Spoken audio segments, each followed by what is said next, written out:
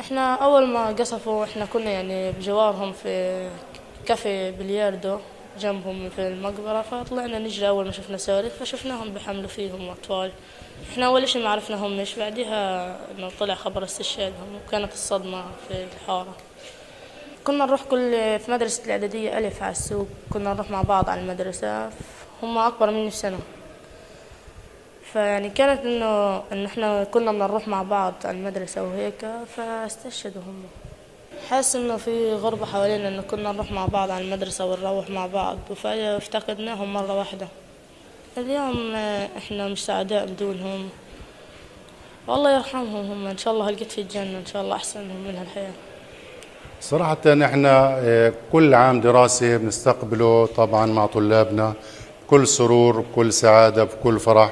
لكن في الحقيقة هذا العام كان عام يعني بدايته حزن على ثلاثة من أقمار طل- وطلاب مدرسة أبو عبيدة بن الجراح الذين ارتقوا في العدوان الأخير على قطاعنا الحبيب في مقبرة أو في منطقة الفلوجة حيث استشهد ثلاثة من طلاب المدرسة الطالب حامد نجم والطالب محمد نجم والطالب نظمي أبو كرش رحمة الله عليهم.